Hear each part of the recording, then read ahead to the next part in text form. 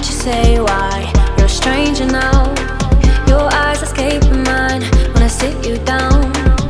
Don't you feel like we're holding on onto a fairy tale, but the magic's gone?